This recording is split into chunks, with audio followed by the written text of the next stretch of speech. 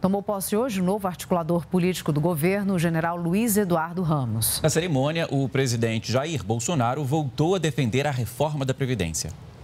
O Palácio do Planalto vem trabalhando de olho no Congresso Nacional.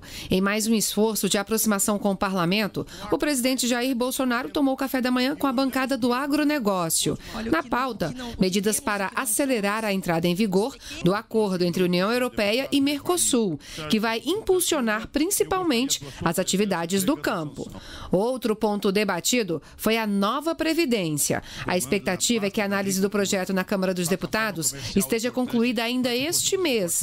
E durante a posse do novo secretário de governo, que entre as atribuições tem articulação com o Congresso Nacional, o recado do presidente Bolsonaro foi bem claro. Não temos plano B. Nós, nós todos, né?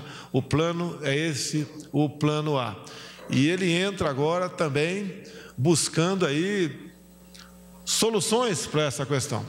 Com 46 anos dedicados ao Exército Brasileiro e experiência em atuação no Congresso Nacional, o general Luiz Eduardo Ramos afirmou que vai trabalhar em parceria com deputados e senadores. Eu me considero em condições de ir lá ou recebê-los aqui. Eu aprendi isso durante esse tempo no Congresso. Construir pontes, soluções. Existem posições divergentes, eu não vou chamar nem de antagônico. Nós temos que sentar, debater, trocar ideias, de maneira que a gente se chegue no denominador comum.